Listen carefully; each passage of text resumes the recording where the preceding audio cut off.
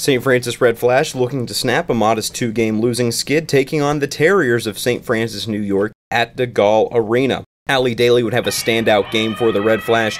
Hits the jumper here to cap a 6 2 run for the Red Flash in the first half, and then a few minutes later, with the shot clock winding down, Daly off the inbounds gets the desperation 3 up, drills it, Score is 9 to 5 in favor of the Red Flash. On the defensive end, Britney Hodges with a nice bounce pass to Ally Daly off the steal. Daly would finish with 13 points and 10 rebounds, her first double double of the season.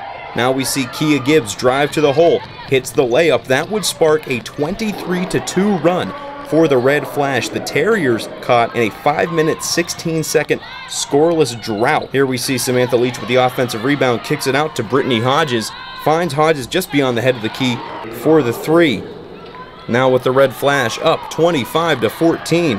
Ally Daly with the steal to Hodges on the fast break. Hodges would finish with 13 points as well. The score at halftime 41 to 19 in favor of the Red Flash.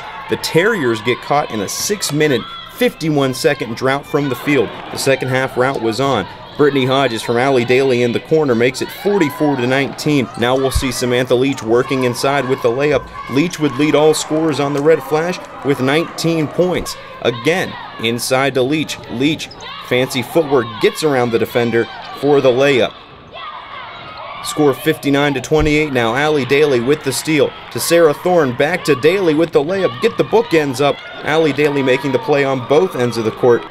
Red Flash up 63 to 32, but watch this hustle play by Kia Gibbs. Nice shot follow with the layup through the contact, gives the Red Flash a 33 point lead.